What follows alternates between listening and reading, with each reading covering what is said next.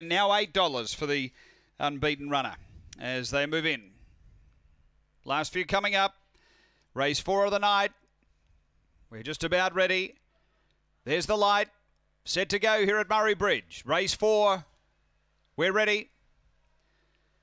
Racing. And speed coming early from Rusty Fury, going quickly. Hot Sophie near the inside, established, booting up. Galactic Athena driving up behind them. Then Emily Fabro, and back at the tail, McLaren Mystique up front. Hot Sophie runs wide. The run there established. Galactic Athena finds the rail. It's uh, Hot Sophie established. Galactic Athena charging through now. Galactic Athena, yes, I think just Galactic Athena from Hot Sophie in a close one. They're wide apart. Uh, then established Emily Fabro, McLaren Mystique. It was back toward the tail end. The time here is around 22.60. Now we stand by. Galactic Athena and Hot Sophie. They drive to the line.